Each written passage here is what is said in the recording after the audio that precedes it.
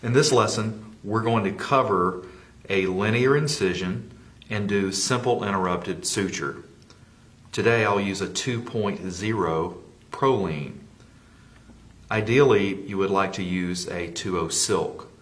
For this demonstration, I'm using blue Prolene so you can see the cut a little better. So let's look at the wound. Ideally, we want to choose the middle portion of the wound and throw the first stitch here. The second and subsequent sutures will be placed equidistant from the middle of the wound till the end of the wound. For example, number two will be placed here, and number three will be placed here. This should give you a really good even equidistance between the sutures. So let's take the first bite. I'll choose the middle of the wound. A lot of people ask, how far do I come away from the particular wound?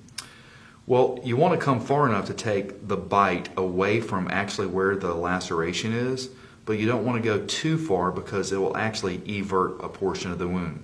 So using the pickups, I'm going to evert the wound a little, take a bite at 90 degrees, and come through. I'll pick up the second bite, going vertically, and finish the circle. And if you'll notice, this distance from here to here typically looks the same. Grasp the needle and pull through. So the first knot's very important. This will begin to lock the wound. And what we'll do is pull the short end of the knot as close as I can to the wound. Lay the instrument in the middle of the wound two throws around the instrument, and then we lay the knot flat. Now this is actually the surgeon's knot that will actually lock down the wound.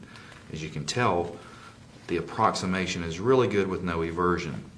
The following is I'm going to bring the short end over to the other side. This is the second knot. And then one final throw, and this will bring bring the loose end over to the left end and we're ready to tie. Always pull the knot to either the left or right, it doesn't matter, but you always want to have some equidistance here. I'll lay the sutures actually down to the lateral portion and simply cut and I get some nice equal sutures there.